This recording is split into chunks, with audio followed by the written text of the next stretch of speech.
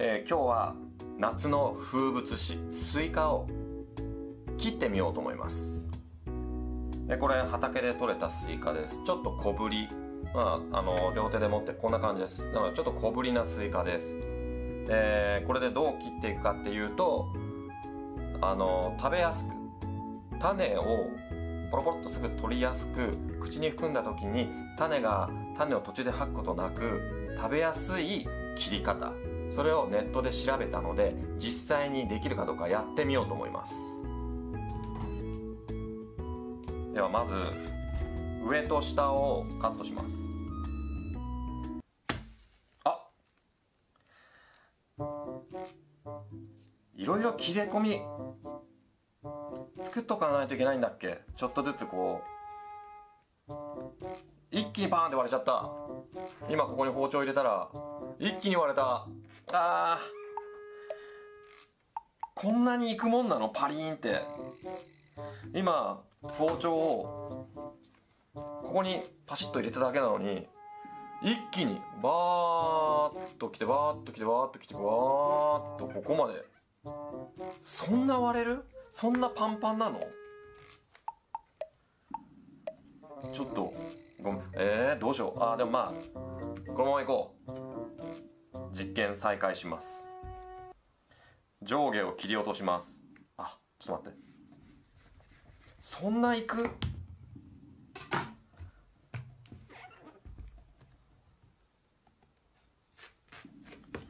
えー、スイカってそんなになんかパッツンパッツンなんだ。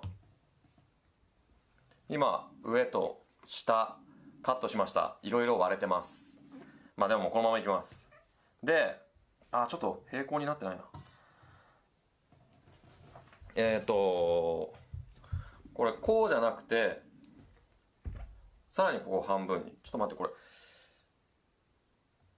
上下がすごいことになってんの。あ真上真下になってないのかスイカってそん斜めになってる可能性もあるのか。ここなんだ平行にすれば。ちょっともう一回ここ切れ切ります。はい。でここを切るんですがまた割れそうなのでちょっとずつこう切れ込みを。もう遅いかもしれないけど。うわあちょっと何この失敗動画。すごいなでも。こんなんなんだ。よしではいきます。でまずこう割ります。半分に。ょっと半分は取っておきます。もうちょいとこうか。今こうなってるので中心からこう外側に向けて種ってこう流れてるそうなんです。綺麗に列をなして。なのでその種通りにカットするとそのカットしたところはカットした面は種がバーッと見えてるのででここをカットする。でもう一つ種が見えるところをカットするとその見えてるところだけ種を出してあげると,、えー、とその中側にはもう種がない。なので口に含んだ時にはもう種がない状態でこう食べられると。そういうことらしいです。でもこう見た感じ列になってるようでなってないようなところもあるのでちょっと分かりづらいですが多分これ中心はここ？こっち狭くてこっち広いけどでもライン的にここにラインがあって交差してるのはここなので多分ここが中心。ここを中心としてこうここを切ろうと思います。でここを切ってみようと思います。こことここちょっと実験で。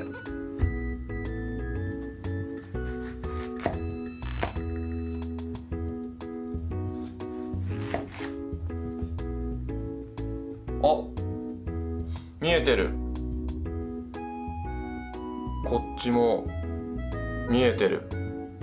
この見えてる種を全部取ってあげるとこのその中ここはもうなくなるらしい。だからここにこの奥にはもうない。こことこここことこっちには種があるけどこのこの中心にはもう種がないそうです。ちょっとこの種全部外してみます。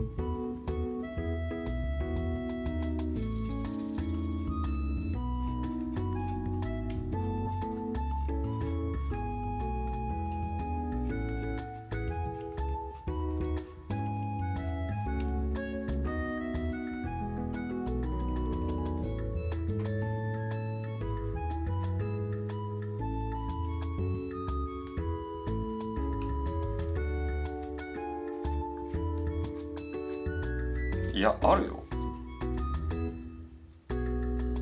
結構奥奥まであるんだぞ。だからまあ例外があるとして。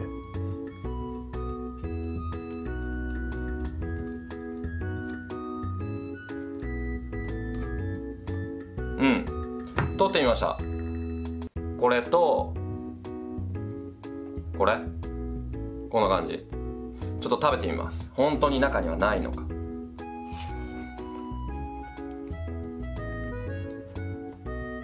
ない。あ待って。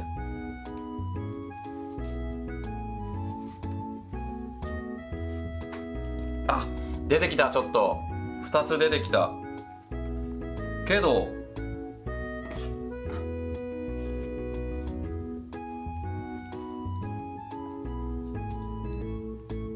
ないね。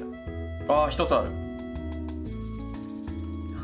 ここのライン真ん中にももう一つラインがあったのかな？種のラインが。あもう一つあるんだ。ほら中心ここここもう一つ中心ここにもあったんだ。だからこのスイカに関してはよっぽど細く切らないとダメでも種が列になってるっていうのはちょっとよくわかるこれ。ほら。ここかここずらーっと種。やっぱりあの種ができるところは決まってるんだね。ザーッとなるんだ。種が種ができるところだとできないところはちゃんと分かれてるんですね。うん。おへ。なるほどね。面白い。ちょっとここ切り取ってみます。ほら。気持ち悪い気持ち悪いぐらいにこの種がずらっと並んでる。でこっち側も。だからこことここを取ってあげるとこれはもう種のない部分だけ残って美味しく食べられる。食べやすいスイカこれ。で甘いのは中心部分。えー、スイカ面白い。えー、本当に切り方は今回ちょっとやり方あのまあさらに中心に種があったけど間違いではありませんでした。